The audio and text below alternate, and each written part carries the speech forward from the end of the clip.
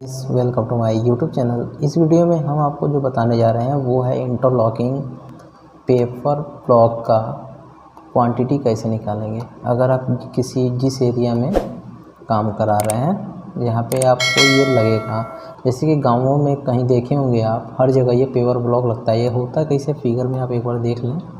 ये, ठीक है? अब इसकी लेंथ जो होती है, यहाँ से लेकर यहाँ तक की 200 होती है, ठीक है? और ये जो विड्थ होती है, ये होती है 160 और ये वाली जो छोटी वाली लेंथ है, वह ये है 80 एम एम और जो बड़ी वाली है, ये है 120 एम एम ठीक है, इसी को हमने इस केज के माध्यम से ड्रा किया हुआ है। सॉरी ये गलत हो गया, ये 160 नहीं होगा, ये 120 होगा, ठीक है?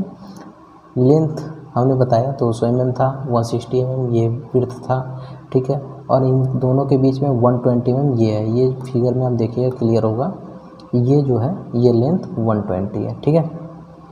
तो इतना आपको समझ में आ गया।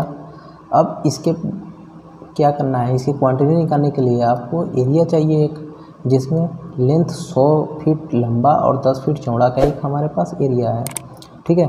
जिसका एरिया आया, अगर इन दोनों को मल्टीप्लाई किया लेंथ ब्रेथ का तो एक हज़ार स्क्वायर फीट आया, ठीक है? अब क्वांटिटी निकालने के लिए क्या करना है? हमें इस टोटल जो पेपर ब्लॉक का, एक पेपर ब्लॉक का जो भी शेप है, इससे हम इसका एरिया निकालें ठीक है? तो हमने क्या किया? पहले थ्रू आउट पूरा निकाला, यानी दो सौ एम लेंथ ले लिया और एक सौ साठ विर्थ ले लिया। तो वही हमने किया, दोनों को मीटर में कन्वर्ट किया तो point two into point one six किया तो zero point zero three two square metre आया, ठीक है? अब इसमें डिडक्शन एरिया जो है, वो ये हो रहा है। ये वाला एट्टी एम ये है और फिर नीचे का ये वाला सेप जो है, ये हमने वन सिक्सटी लिखा है लेकिन वन सिक्सटी है नहीं है वन ट्वेंटी है, ठीक है? तो 120 इसको हमने डिडक्ट किया। तो ये दो शेप में डिडक्ट होगा, एक इस साइड से, एक इस साइड से। तो यहाँ पे आप देख सकते हैं, इसके लिए हमने फार्मूला जो अप्लाई किया, वो 80 ऊपर का ले लिया और नीचे का 120 ठीक है? अब ये 20 20 एम कहाँ से आया, वो हम हम दिखाते हैं। पहले उस शेप को हमने बना लिया है। अभी हम फार्मूला आपको दिखाएँगे कैसे अप्लाई करना है। अब 20 एम mm कैसे आया, वो हम बताते हैं आपको। 20 में आप देख सकते हैं 120 ये दिया हुआ है, ठीक है? वन ट्वेंटी ये दिया हुआ है तो ज़ाहिर सी बात है ये ट्वेंटी होगा। अब कैसे होगा वो देख लीजिए। टोटल एक सौ साठ एम एम है। एक सौ बीस माइनस कर दीजिए इसमें से। तो बचा कितना? चालीस एम एम तो बीस ऊपर आएगा, बीस ऊपर आए, नीचे आएगा। तो वही हमने यहाँ पे लिख दिया। तो इस टाइप का सेप जो है, इसको हमको डिडक्ट करना है। अब इसके लिए क्या फार्मूला अप्लाई हमने किया, वो दिखाते हैं आपको। इसके लिए जो हमने फार्मूला अप्लाई किया, वो है ये।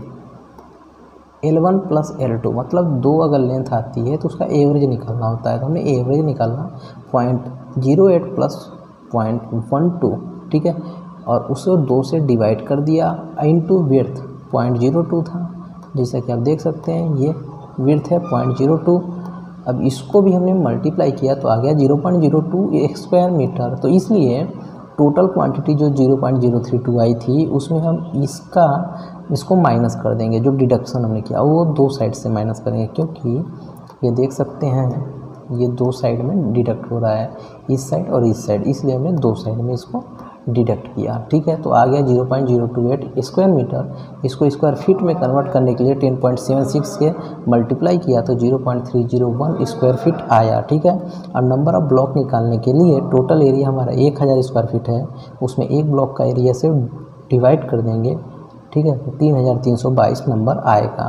पाँच परसेंट वेस्टेज लेके चलते हैं, क्योंकि इस ज्वाइंट को सीधा एक लाइन में रखने के लिए कहीं कहीं पे टुकड़े भी भरने पड़ते हैं, इसलिए पाँच परसेंट ले चलते हैं। तो एक सौ छियासठ नंबर इसका आ जाएगा, पाँच परसेंट, ठीक है? तो दोनों को जब ऐड करेंगे तो तीन हज़ार चार सौ अट्ठासी नंबर आएगा। अब एक सौ छियासठ कैसे आया, वो भी आप देख लीजिए।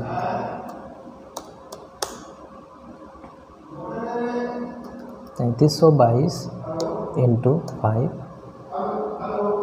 परसेंट टोटल एक सौ छाछठ आ गया, ठीक है? तो इस तरह से पेपर ब्लॉक का टोटल हमने क्वांटिटी निकाला।